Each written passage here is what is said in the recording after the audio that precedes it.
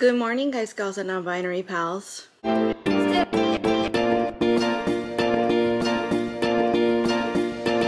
It is Monday morning, and I've made us both breakfast, me and my son. I've already eaten my breakfast. I've had my coffee. I've done a bunch of morning things, and he is still completely passed out. It's 9.45 in the morning right now.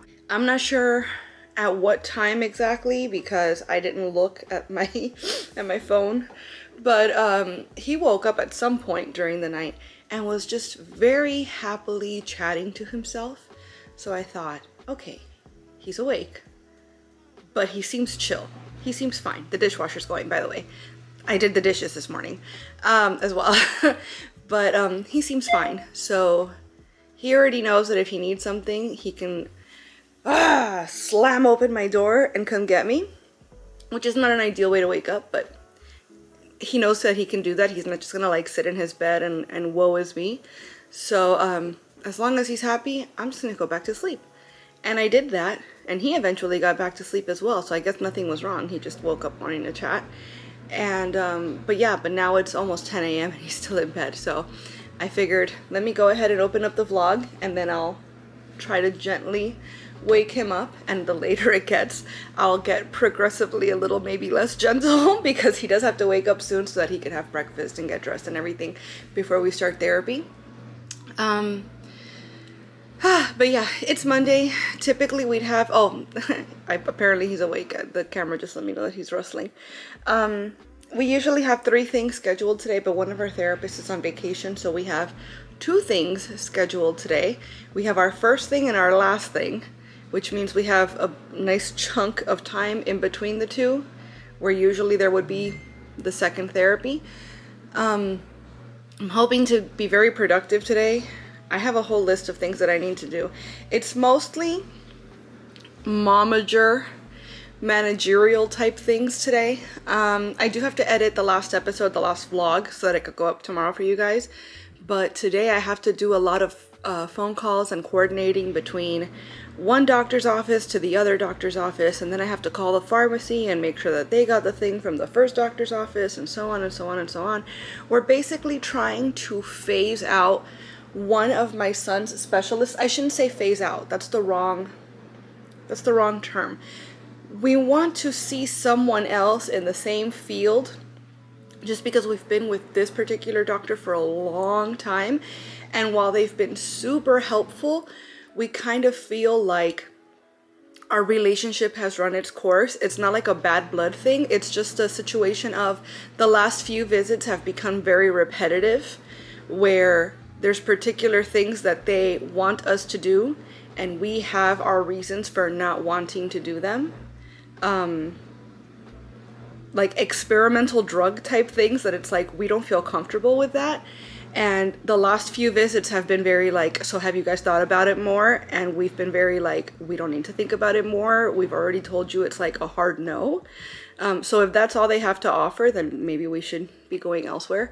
But this doctor's office, um, we still have certain testing that we wanted to do with them and plus they have all of our records from like a long time ago so there's a lot of things that have to happen in order for us to basically uproot our entire history with them and be able to move it to another office. Plus, we need to find another office that we like.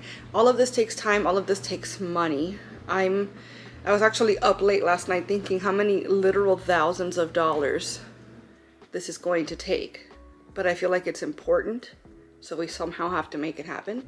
Um, but yeah, I'm kind of in the very, very preliminary stages of all of this where I'm still trying to literally like just brainstorm what are the steps? What is all this going to take? This is a process that might end up taking a year or two, um, more so because of the cost than anything else. But I want to make sure that in the meantime, I don't skip over anything important or like forget something and then we've left the office and now it's too late to do X, Y, or Z. So, um, a lot of my time today is going to be spent on that. I'm currently watching, I just discovered a channel that has been around for years and years and years. So probably, obviously, I'm not coming across anything new. And maybe you guys watching know exactly who she is. Um, Samantha Joe is a YouTuber, which she also now has a huge following on TikTok as well.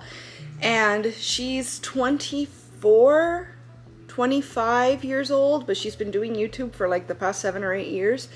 And I find like a little sister kind of kinship with her parasocial to the max. I know that just sounded so cringe, but she's a big girl that talks a lot about her like health struggles and her struggles with binge eating disorder. She does not shy away from talking about mental health and it's like same bestie.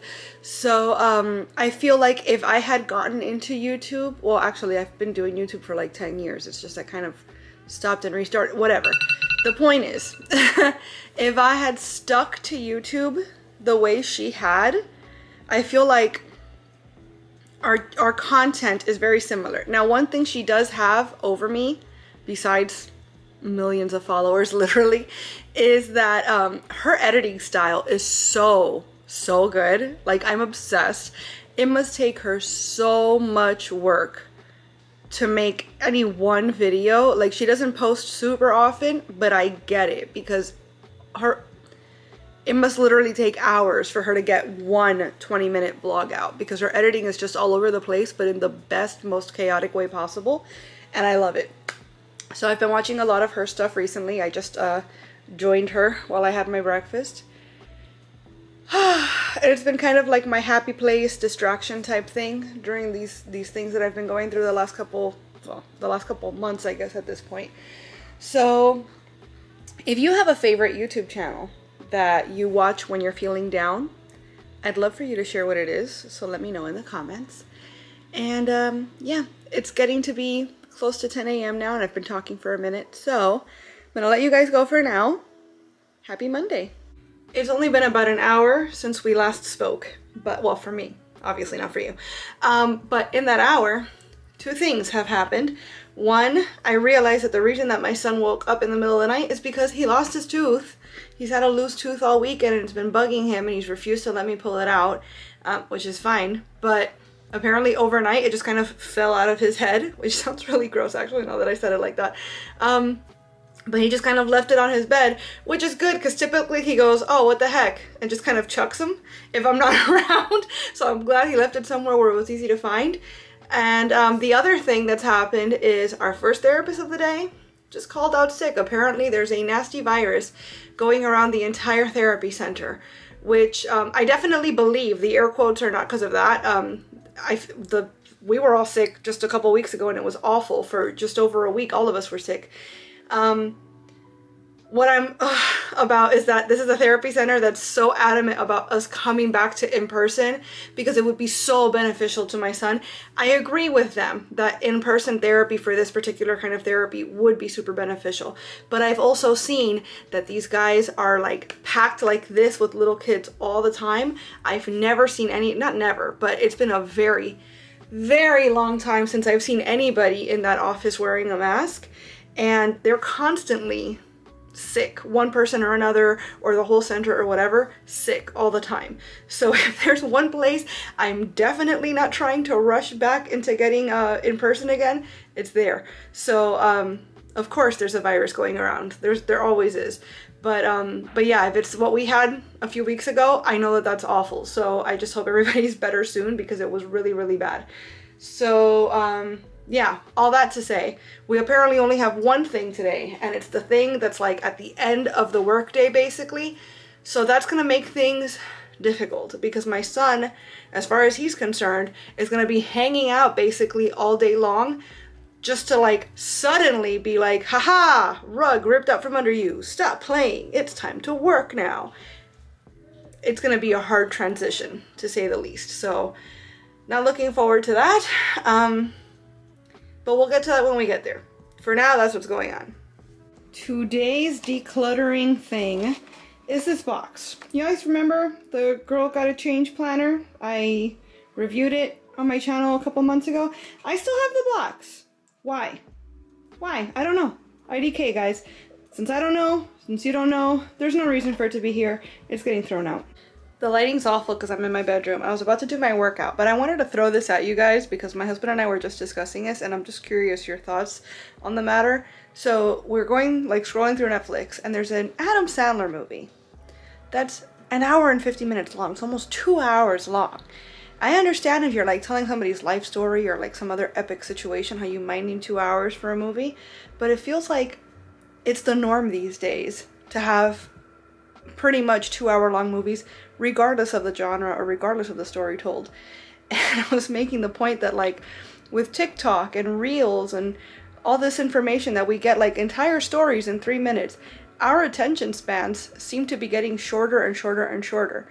And meanwhile, the movies just keep getting longer and longer and longer. So it's like, what are they doing to us? What are they like, what's the point? Why would they make things longer knowing that we're less likely to pay attention for that long? Like, shouldn't they be working on making things shorter and easier to digest? I'm not saying I want a whole movie to be three minutes long, but I certainly, I guess what I'm trying to say is I certainly don't see the benefit to making them longer and longer. Thoughts? Oh my goodness. Okay, it's Tuesday afternoon at this point. Um, I have such a headache.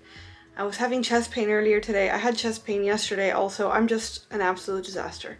But let me tell you all about the dentist appointment.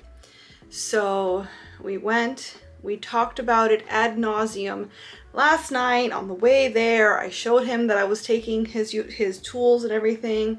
Um, I did my absolute best to prepare him, and then one of his therapists met us there, and you know he was happy to see her, and you know she got him all hyped hey we're gonna do this and it's gonna be like this it's gonna be so great she walked in before us and basically told the tech like listen for this particular case don't don't do the thing because everybody sees kids on the spectrum and thinks, oh, well, they tend to keep to themselves. So let me approach in a very, hi, how are you? How are you doing? Hey. And that's like, maybe that works for some kids, but for my kid, that's an immediate turn off. Like that's like, dude, get out of my space. Like I did not invite you into my bubble. Please back off.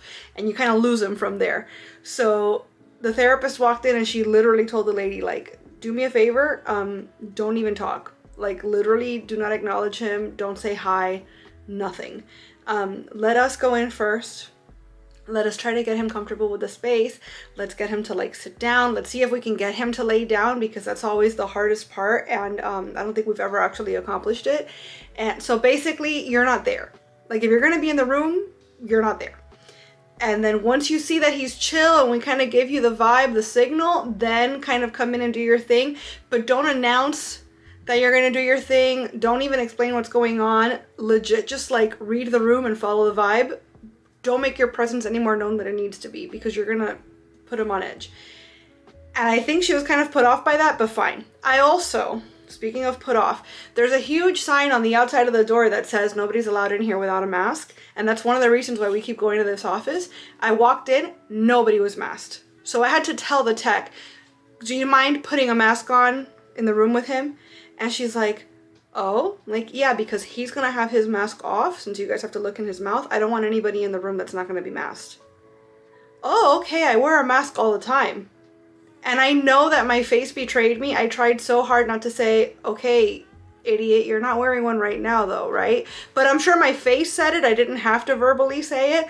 She immediately went and got a mask on and she kept it on the entire time we were there. But then she was also clearing her throat the whole time, which is freaking gross and made me want to die a few times. Um, anyway, my son did better than he's ever done. He actually laid down and he laid down for a good length of time we had to alternate me doing stuff and then her doing stuff, me taking turns with her. Um, we set a timer, we had him play music, like the whole nine. There was a lot of distractions, a lot of things. We had we took our time through everything, and at the end, we were able to literally clean his four front teeth here and some of his bottom front teeth. And that was pretty much it. Which on the one hand is farther than we've ever gotten on any visit. But on the other hand, is certainly not worth $150, right? So um, then the dentist came in and the dentist just wanted to have a look inside his mouth. So again, I had to like get in there and take turns with the dentist so that he'd see like, you see what I'm doing? You're fine with me doing it, right? The same thing's about to happen now, but it's going to be him that does it instead of me. And so on and so on. The dentist was able to look um, and he said, You know, I'm not worried. He looks great. Yeah, we didn't get to like clean anything, but he looks fine. I'm not concerned that we didn't get to like really get in there. And so um, at that point, I said to him, "So listen, these these desensitization visits that we started coming here for, you guys aren't doing them at all anymore." And he's like, "No, we're not doing them at all for anyone anymore." And I said, "Okay, so here's here's my concern then, is that you've seen how this just went, and it went better than before, but it's certainly not good. It's certainly not $150 good." He lost a lot of progress over the pandemic because we didn't, you know, we weren't coming as often as we were used to coming, which I think is understandable for everyone.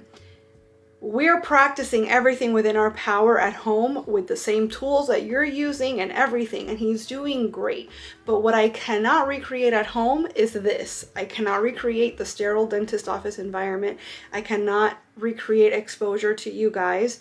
Um, you know, he can't get more comfortable with you guys if he's not around you, right? So these are things that are out of my power, are out of my control. I can do the best I can with what I can control, but these are things that I'm just, I don't have access to.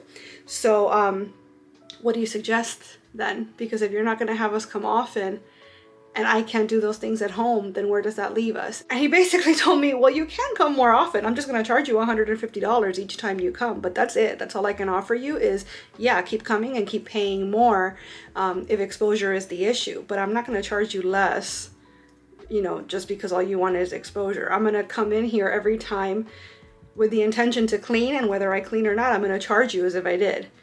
And I was like, interesting. Okay, so at that point, they offered us an appointment for six months out. I don't know if the math wasn't mathing, but she actually ended up giving us an appointment for seven months from now. So, all right.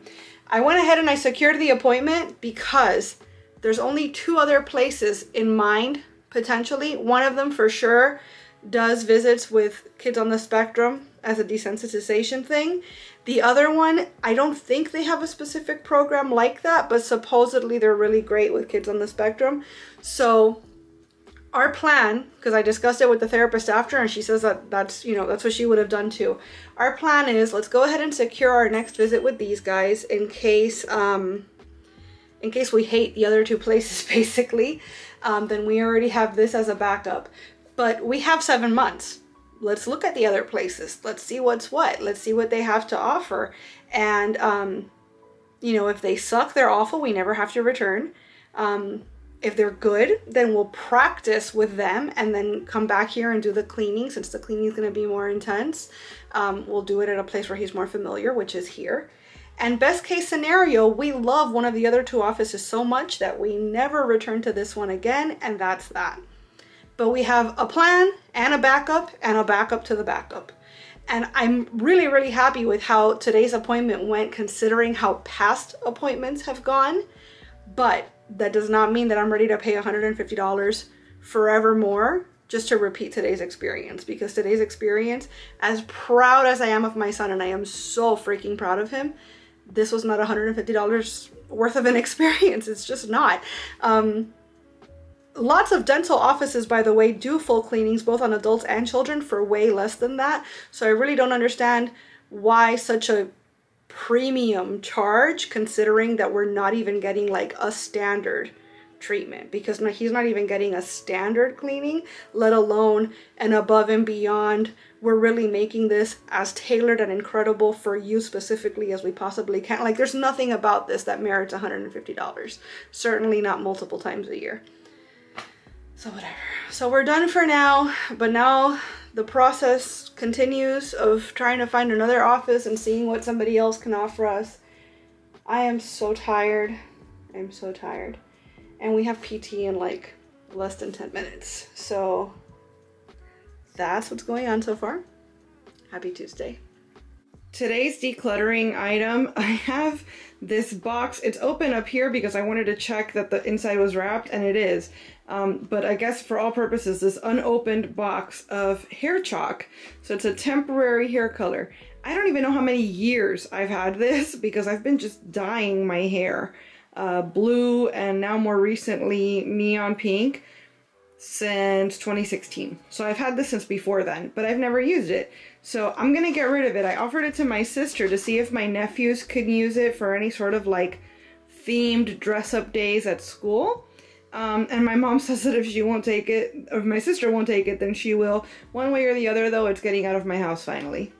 Hey, pals, it's Wednesday morning, and I'm feeling so off. I'm feeling so weird, like physically. Um, for the last three days, I've been having on and off chest pains, on and off stomach pains, but like doubled over. Um, and it's like my actual stomach, not like my guts or anything. It's like my actual organ, the stomach organ. feels like somebody's gripping it. Um, it's just very uncomfortable. Um, my headaches have been on and off for at least a week or so now. Um, more often on than off. Like right now, I have a headache. And um, I'm not sleeping well because I'm waking up with like tummy pains and stuff in the middle of the night. So all of these things compounded have me feeling like um, garbage. Basically, I don't know how else to describe it. And I don't know what I can do to feel better. I'm going out of my way to make sure I'm properly hydrated. I am avoiding caffeine as usual, avoiding sugar as usual. Um, I don't know. I don't know what else I can do. I don't know what else I can do. I'm just griping because I'm not feeling great and um, there's nothing I can do about it but complain, which sucks. I hate being that guy. I'm always that guy that says we're complaining about something. Why bother? Why waste your time? Let's do something about it instead. But I'm genuinely at a loss at this point. Uh, it is Wednesday. We have two therapies scheduled and um, I just received some fun news. Apparently, we usually have two things. Not apparently, we usually have two things. It's a fact that we usually have two things scheduled on Thursday. But both of those people are out for one reason or another. So we actually have a random middle of the week day off tomorrow, which is very nice. I've already like filled it with things that I'm gonna do. Productive type things, of course but I'm hoping to have at least an hour in there where I can play The Sims. That always backfires on me because I start playing The Sims and I say to myself, it's just an hour, I'm gonna set a timer and then I'm gonna stop and start doing these productive things. But then it doesn't actually ever work out that way. So I guess we'll see what happens, but that'll be nice. I'm gonna actually, right now, before I forget, I'm gonna turn off my alarm for tomorrow. Skip. Um, and I'm gonna attempt to sleep in tomorrow. It never happens. Every time I do this, something or someone wakes me up before even the alarm would have. But the intention is there. I am hoping that I'm able to get some good rest tonight and I'm able to wake up tomorrow whenever the heck my body decides that it's ready to do that. but we still have to get through today, guys. So we have those two therapies, which actually the first one begins in less than an hour, so we gotta get dressed and all that. And as far as the rest of the day, I have to call a couple doctor's offices. What else is new?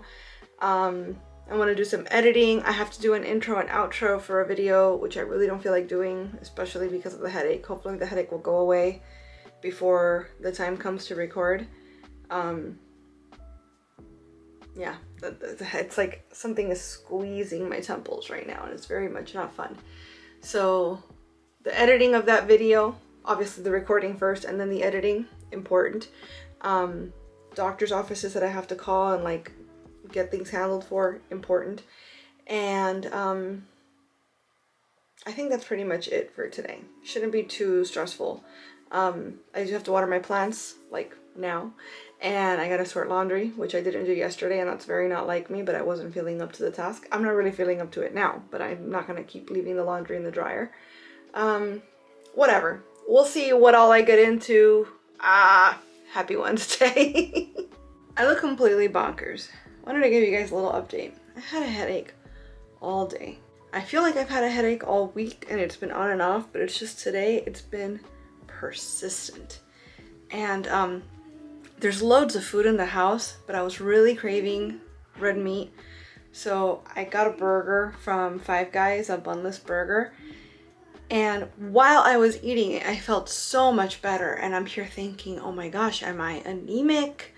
Um, was my blood sugar low? Like, I don't understand how I suddenly feel fantastic while I'm eating, you know? And no sooner did I finish eating that the headache just came back full force. So I have no idea. I have no idea. Maybe it was just that I was distracted by the food. I don't know. I can't make sense of it. I don't understand what's going on with me. But the only time in the last 24 hours that my face didn't absolutely sting was during the eating of this burger. Before, after, crap. But during the eating, I felt so much better. And it's like, my guy, I can't spend all day eating burgers. like, that's not, I can't. Um, but yeah, I don't know if, have you guys ever experienced anything like this? If you have, what was it? What is it? What did it turn out to be? Let me know. Um, I'm actually having lab work done on Saturday. So if there is something systemically wrong with me, first off, it would be a very recent change because I've been getting labs pretty regularly for the last year for one reason or the other, and everything's always been fine. But, um, you know, if there is something going on, I will know soon. But yeah, I'm just, right now I'm so tired. I'm so tired. And I actually thought to myself, the guy is calm. He's hanging out, playing on his iPad and organizing his books, doing a puzzle. Like he's chill. He's doing his thing. Um, I'm gonna lay on the couch and I'm gonna maybe knock out for a half hour.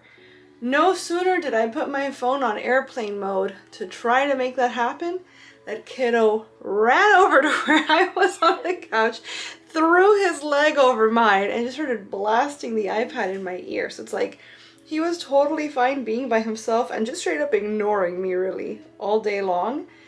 Except when I decided, let me take advantage that he's ignoring me and just try to knock out for like 20 minutes.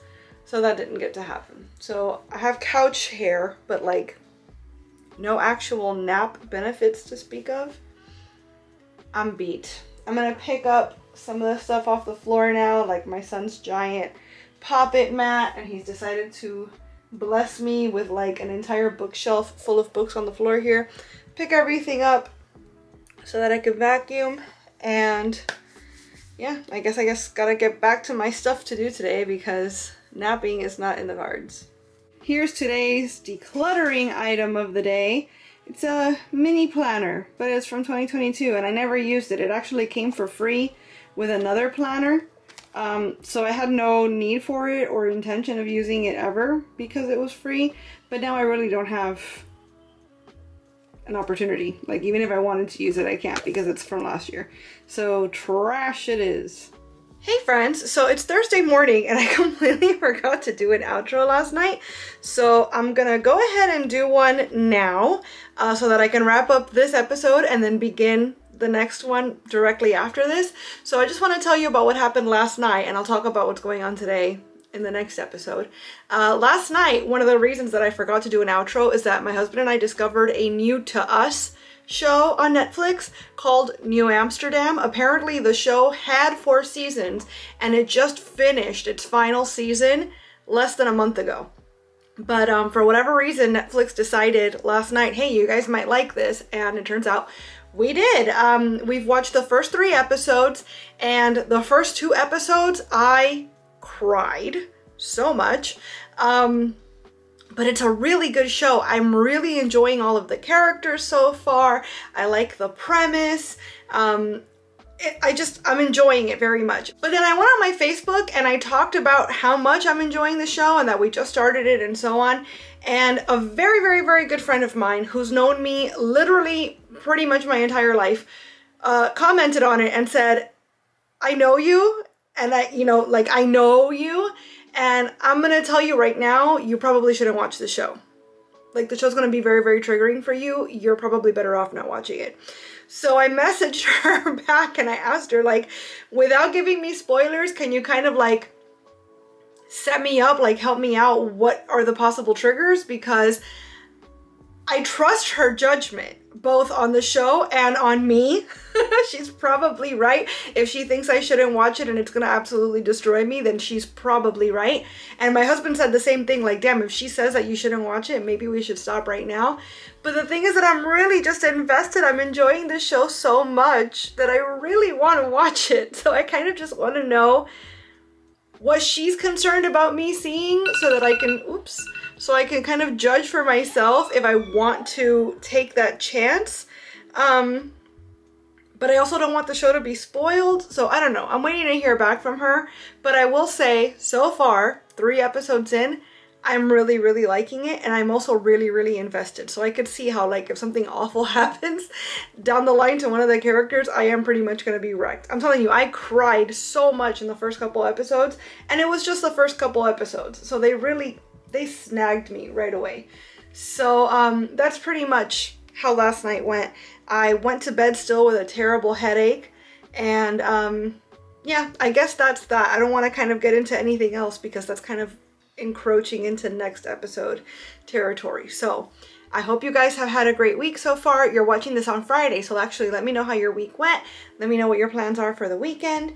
And um, yeah, I want to thank you so much for being here and watching this video. I hope you enjoyed it. If you did, I hope you'll please give it a big thumbs up. I'd also love it if you'd subscribe and click that notification bell because I post at least three times a week, even when I forget to do an outro, and I wouldn't want you to miss a minute. Thanks so much again for watching. Bye!